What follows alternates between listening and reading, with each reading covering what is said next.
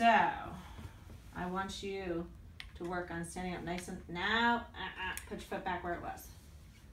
So I want you to think about yes, making these knees straight, nice and tall, muscles in your legs to stand up nice and tall, and use these muscles up here to pull your legs out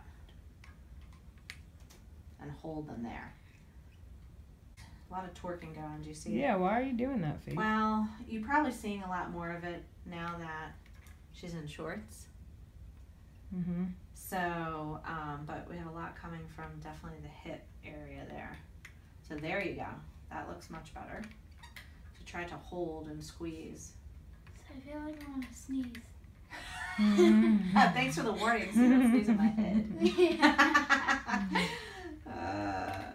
tell me when and I'll run. okay.